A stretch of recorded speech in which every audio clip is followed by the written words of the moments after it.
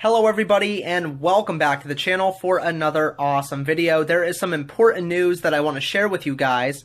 And this news is regarding SmackDown Live General Manager Daniel Bryan. But before I get into going over the news, make sure if you have not already to smash the like button as hard as you physically could. Also subscribe to the channel if you are new around here and turn on the post notification bell as well so you'll get notified of future videos coming here to the channel. Okay, so this article comes from WWE.com. If you guys do want to check out this full article for yourselves, I will leave a link to it down in the video's description. Anyways, it says Daniel Bryan medically cleared to return to in-ring action. Following more than two years of extensive evaluations, four-time world champion Daniel Bryan has been medically cleared to return to in-ring competition by leading neurosurgeons, neurologists, and concussion experts, including Dr. Robert Cantu, Dr. Javier Cardenas, and Dr. Jeffrey Kutcher, Bryan underwent a full review of his medical history and received comprehensive neurological and physical evaluations independent of WWE.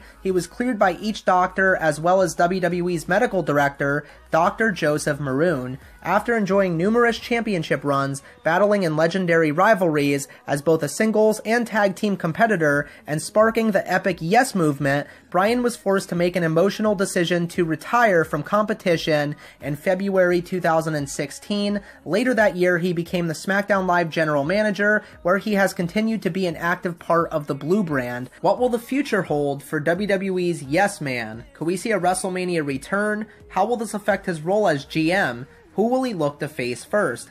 Find out as the road to WrestleMania continues on SmackDown Live tonight at 8 7 Central. So, how do you guys feel about that? Daniel Bryan medically cleared to compete once again inside of a WWE ring. I'm really hoping we could see him in a match at WrestleMania 34. That would be really awesome. But, anyways, let me know your thoughts on all of this down in the comment section below. But anyways, guys, I'm Noology. I hope you guys all have an awesome rest of your day. And until next time, I'm out for now. Peace.